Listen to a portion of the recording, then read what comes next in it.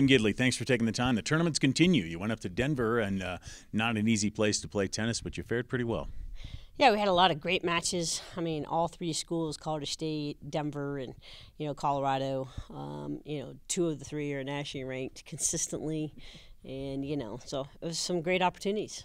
What did you like most? Uh, maybe some players that you saw really coming into their own playing tennis.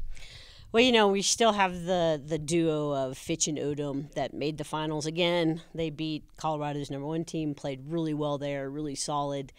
Uh, the finals against Denver, dug a hole quickly, down 4 1, fought back, got it back to 5 4, lost a 3 all point, you know, to bring it 5 all. But, you know, they'd been playing really consistent tennis from the start, like I said. But if you, you dig a hole, but the fight was there, and, and they're, you know, it's their third final in four tournaments. So you got to be excited and to have a Power Five win again, you know, for, you know, two out of three weeks. That's awesome.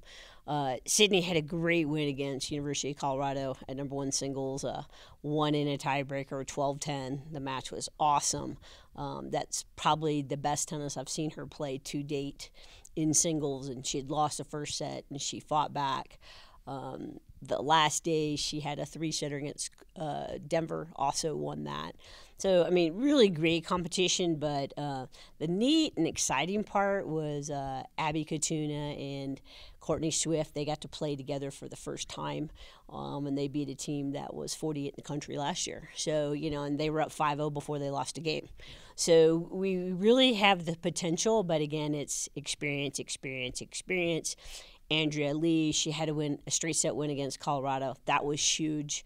Um, and then we also had Alexis Odom that had a straight set win against Colorado. So if we're having some Power Five wins and, and we're being consistent, we're getting those opportunities. And we talked about we take two steps forwards and a step back. And the first day was a little rough, and then the second day was awesome, and then the third day, you know, take that step. But I mean, that's how you grow as a team.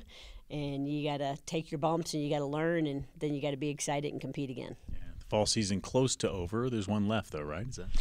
Yeah, we're uh, going to the University of Hawaii. This is only the third time in program history to go for, for us since being Division One, so we don't get to have that opportunity that often.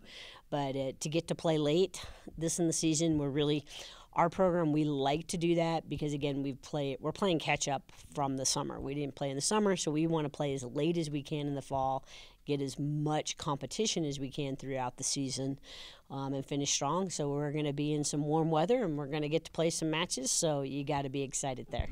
It's warm weather, but it's sea level. Uh, that will be a little bit different for your players, right? Well, hopefully they can run all day long. That'll be good. Kim Gidley, thanks for the time. Good luck this weekend. Go Falcons.